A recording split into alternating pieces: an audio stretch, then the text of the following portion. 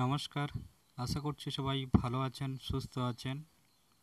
একত্রিশে জুলাই উচ্চশ্রী পোর্টাল উদ্বোধন হয় এবং দোসরা আগস্ট থেকে শিক্ষক এবং শিক্ষিকাগণ উচ্চশ্রী পোর্টালে আবেদন শুরু করে।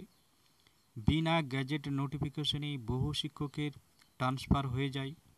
উচ্চশ্রী পোর্টালে সিঙ্গেল সাবজেক্ট টিচাররা আবেদন করলেও এইচওআইগণ এনওসি না দেওয়ার কারণে ব্যাক কিংবা পেন্ডিং থাকে।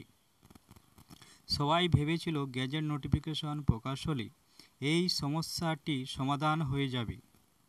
অনেক শিক্ষক সংগঠনও প্রতিনিয়ত ডেপুটেশন দিয়েছিলেন এই সমস্যাটির সমাধানের জন্য। অবশেষে দশই সেপ্টেম্বর গ্যাজেট নোটিফিকেশন প্রকাশিত হয়েছে, কিন্তু সিঙ্গেল সাবজেক্ট টিচারদের ট্রান্সফারের সমস্যাটির কোনো সমাধান হয়নি। আজ এই ভিডিওতে তিনটি বিষয় নিয়ে আলোচনা করব। এক নম্বরে আলোচনা করব, সিঙ্গেল সাবজেক্ট টিচারদের ট্রান্সফার নিয়ে গ্যাজেট নোটিফিকেশনে কি বলা হয়েছে। দু নম্বরে আলোচনা করব, শিক্ষা দপ্তর চাইলে কি সিঙ্গেল সাবজেক্ট টিচারদের বদলির সমস্যাটির সমাধান হতো না। তিন নম্বরে আলোচনা করব অবশেষে কি সিঙ্গেল সাবজেক্ট টিচারদের আন্দোলনের পথ বেছে নিতে হবে? এখন আমরা যদি গ্যাজেট নোটিফিকেশনটির দিকে লক্ষ্য রাখি, সেখানে পাঁচ নাম্বার দাগ, পাঁচ নাম্বার, পাঁচ নাম্বারের রুল সিক্স এখানে যে প্রসিডিওর বা আবেদনের পদ্ধতি সম্পর্কে বলা হয়েছে সেখানে সিএমসির ভূমিকাতে মানে দু নাম্বার সাবরুল, যদি লক্ষ্য রাখি এই দু নাম্বার সাবরুলের আন্ডারে সি নাম্বার পয়েন্ট এবং ডি নাম্বার পয়েন্ট এবং ই নাম্বার পয়েন্ট আমরা ভালোভাবে একটু লক্ষ্য করব। এখানে সি নাম্বার পয়েন্টে বলা হয়েছে, কোনো বিদ্যালয়ের একজন শিক্ষক ট্রান্সফার নিলে যদি সাবজেক্ট টিচার জিরো কিংবা রোল স্ট্রেংথ সামঞ্জস্য না থাকে তাহলে ওই শিক্ষকের ট্রান্সফারের আবেদনটি ফরওয়ার্ড করা যাবে না। ডি নাম্বারে বলা হয়েছে, একটি বিদ্যালয়ের মোট শিক্ষকের দশ পার্সেন্টের বেশি শিক্ষকের আবেদন ফরওয়ার্ড করা যাবে না। সি নাম্বার পয়েন্টে বলা হয়েছে, যারা প্রেফার ক্যাটাগরিতে অ্যাপ্লাই করবে, অর্থাৎ ফোর এ টু ডি, আমরা যদি দেখে নিই একটু মেডিকেল গ্রাউন্ড তারপরে পিএইচ ক্যাটাগরি তারপরে সেই সকল ফিমেল টিচার যাদের হাজব্যান্ড মারা গেছে কিংবা বিবাহ বিচ্ছেদ হয়ে গেছে এবং সেই সকল টিচার যাদের এজ ফিফটি সেভেন হয়ে গেছে বা ফিফটি সেভেনে ঊর্ধ্বে, তাদের তাদের হোম ডিস্ট্রিক্ট ট্রান্সফার এই সকল পেপার ক্যাটাগরিদের জন্য এখানে বলা হয়েছে যে সি আর ডি পয়েন্ট দুটি ছাড় দেওয়া আছে এবং এই ই নাম্বার পয়েন্টের নিচে বলা হয়েছে, আপনারা যদি লক্ষ্য রাখেন, এখানে আমি শর্টে একটু বলে দিচ্ছি, এখানে যে বিষয়টি বলা হয়েছে, এখানে বলা হয়েছে ফোর এ টু ডি গ্রাউন্ডে কোনো টিচার যদি ট্রান্সফার নিলে, বিদ্যালয়ের সাবজেক্ট টিচার যদি জিরো হয়ে যায় কিংবা রোল স্ট্রেংথ অসামঞ্জস্য হয়ে যায় তাহলে শূন্য পদ পূরণের জন্য সিএমসি ডিআইয়ের থ্রু দিয়ে সিএসএসসি সাথে যোগাযোগ করবে এবং সিএসএসসি এই ধরনের ভ্যাকেন্সিগুলি পূরণের জন্য প্রয়াস নিতে পারবে।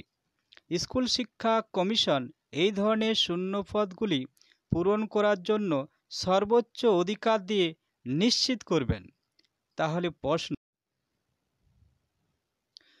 তাহলে প্রশ্ন, যে সমস্ত সিঙ্গেল সাবজেক্ট টিচাররা বাড়ি থেকে দুশো, চারশো, ছশো কিমি দূরে কোনো এক বিদ্যালয়ে সার্ভিস করছেন, তাদের ট্রান্সফার করিয়ে কি শূন্য পদগুলি পূরণ করা যাবে না? ফোর এ টু ডি গ্রাউন্ডে ট্রান্সফারের জন্য যেরকম উদ্যোগ নিয়েছে সেই রকম সিঙ্গেল সাবজেক্ট টিচারদের ট্রান্সফারের জন্য উদ্যোগ নিলে কি অসুবিধা হবে?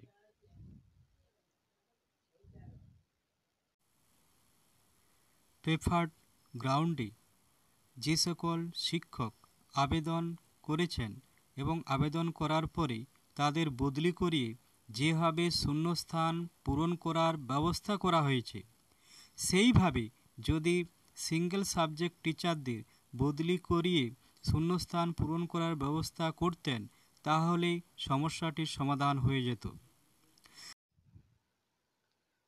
আবার, কোনো স্কুলের কোনো একটি সাবজেক্টে একাধিক সাবজেক্ট টিচার থাকলে সেই টিচারগণ যদি উচ্চশ্রী পোর্টালে এনি আদার গ্রাউন্ডে আবেদন করে, তাহলেও তাদের ট্রান্সফার প্রায় অনিশ্চিত।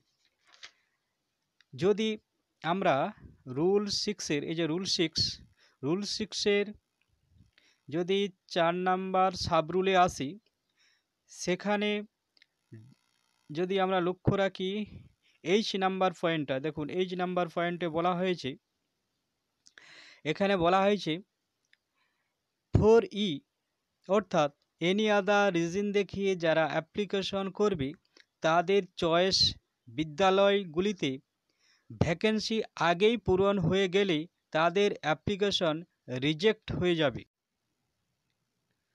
আবার যদি আমরা ই নাম্বার পয়েন্টটি লক্ষ্য রাখি, এখানে বলা হয়েছে যে এনি আদার রিজিন দেখিয়ে যারা অ্যাপ্লিকেশন করবে, একটা সিঙ্গেল ভ্যাকেন্সির এগনেস্টে তাদেরকে লড়তে হবে। ফোর এ টু ডি অর্থাৎ প্রেফার ক্যাটাগরিতে যারা আবেদন করবে, তাদের সঙ্গে লড়তে হবে। এখন ফোর এ টু ডি যা, অর্থাৎ পেপার ক্যাটাগরিতে যারা আবেদন করবে, তাদেরকে অগ্রাধিকার দেওয়া হবে। তারপর এনি আদার রিজন দেখিয়ে অ্যাপ্লিকেশন করবে, তাদের বিষয়টি পরে ভাবা হবে।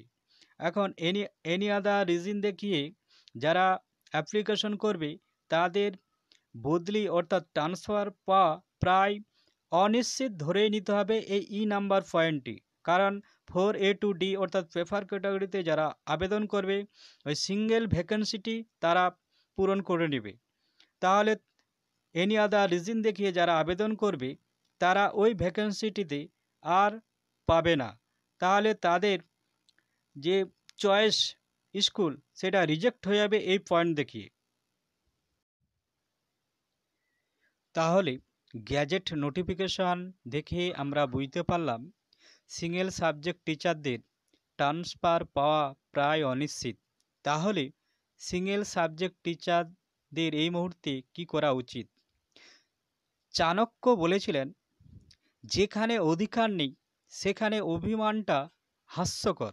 তাই সিঙ্গেল সাবজেক্ট টিচারদের বলছি, আপনারা অভিমান করবেন না আন্দোলন করবেন, আপনারা আপনাদের পথটি বেছে নিন। থ্যাংক ইউ, ভালো থাকুন, সুস্থ থাকুন।